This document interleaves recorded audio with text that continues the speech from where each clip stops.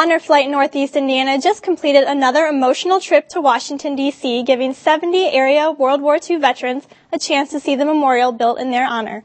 Now, WANE TV is giving you a chance to thank these men and women for their service with our Thank a Vet, Make a Torch contest. We want children ages 5 to 12 to create a special torch to hold at the Fort Wayne Veterans Day Parade on Saturday, November 9th. Torches can be made out of just about anything toothpicks, paper, paint, glitter, popsicle sticks. Get creative.